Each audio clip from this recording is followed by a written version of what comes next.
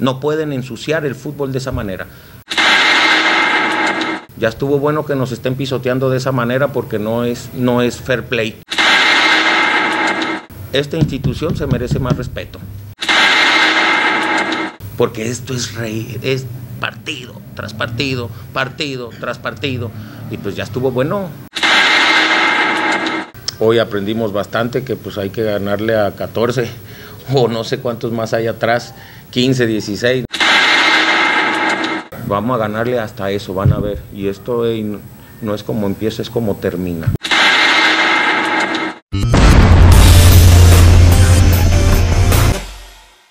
Eh, venimos trabajando bastante bien, partido contra un, un gran equipo, jugadores muy importantes como los jóvenes nacionales, podríamos decir, y los extranjeros que vinieron. Por algo en la Copa Sudamericana están en donde están.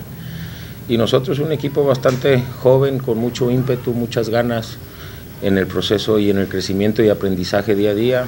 Hoy aprendimos bastante que pues hay que ganarle a 14 o no sé cuántos más hay atrás, 15, 16, no voy a hablar más porque pues nomás nosotros salimos sancionados y siguen reintegrando a esos que se han equivocado, nos tachan de eufóricos, nos amonestan por, por lo que sea nosotros, que somos Royal Party, una institución con mucha dignidad y muchos valores, y pues que pasen ciertas cosas que, que, que no es de hoy, ¿no?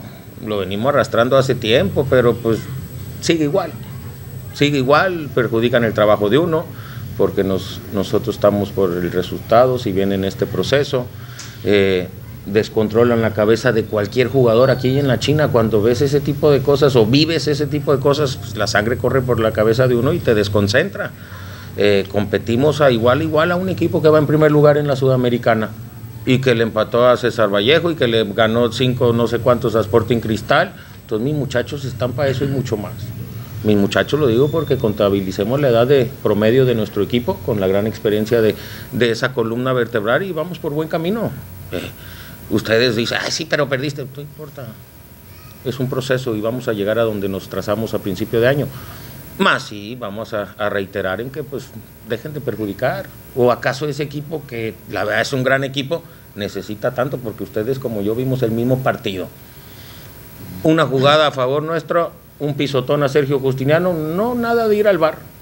Pues vaya y revise el bar, si es penal, bien, y si no, pues tampoco, porque pues hay que medir bajo la misma, con la misma vara en este fútbol y en el fútbol mundial.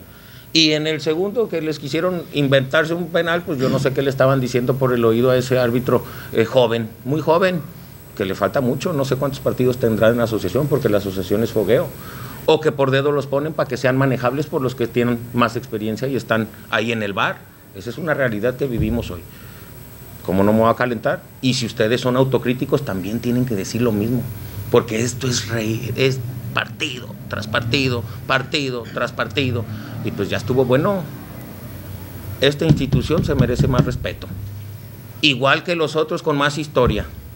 Ya estuvo bueno que nos estén pisoteando de esa manera porque no es, no es fair play.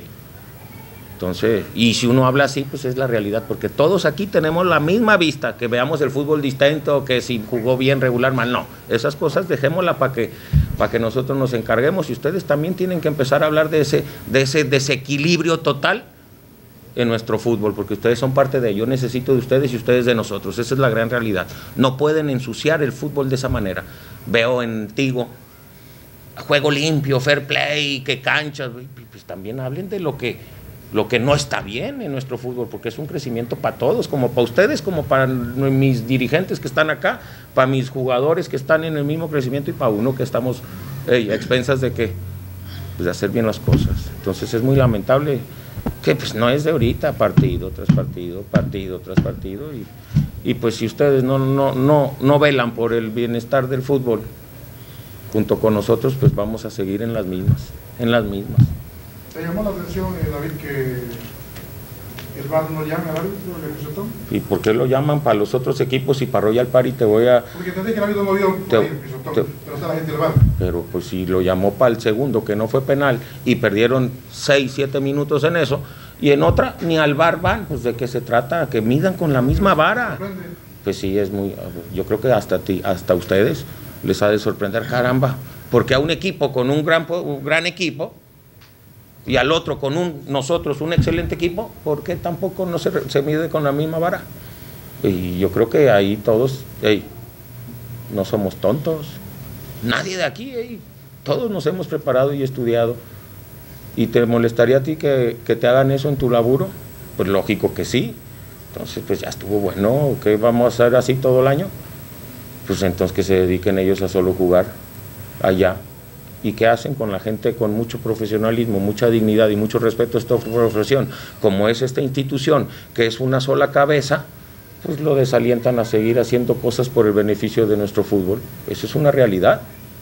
Pues, ¿De qué se trata? ¿Solo los intereses personales? No, porque esto no es nomás hoy nosotros, porque fue el otro día y el otro día y el otro día.